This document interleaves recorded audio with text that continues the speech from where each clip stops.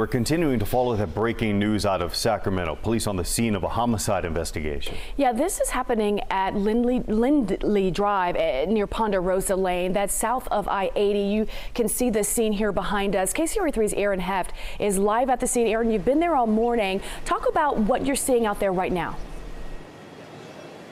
Yeah, Brandi, Mike, right now the investigation's still underway. Pictures are still being taken. A tow truck just arrived. This is after one man is left dead after an overnight shooting. That investigation right behind me. Take a look at this. Who's still on scene? That would be Sacramento Police Homicide Investigation Unit and CSI.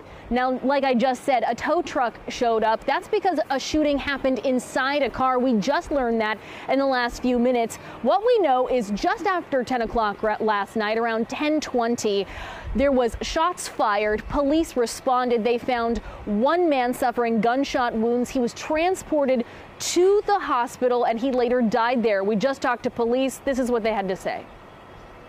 Yeah, we're still working through what led up to this shooting. Uh, what I can say is, is that uh, we had one uh, male adult victim who was shot inside of a vehicle, uh, and uh, that victim was transported to the hospital where he later passed away. And uh, any further details on that, it's just too early to tell in the investigation right now, but we're hoping to have those answers soon.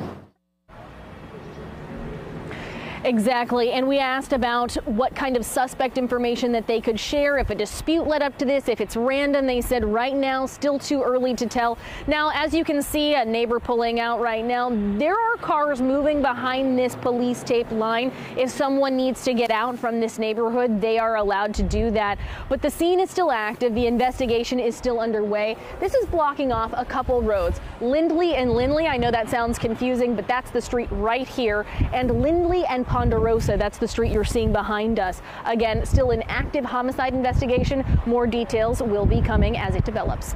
In North Sacramento, Aaron Heft, KCRA 3 News.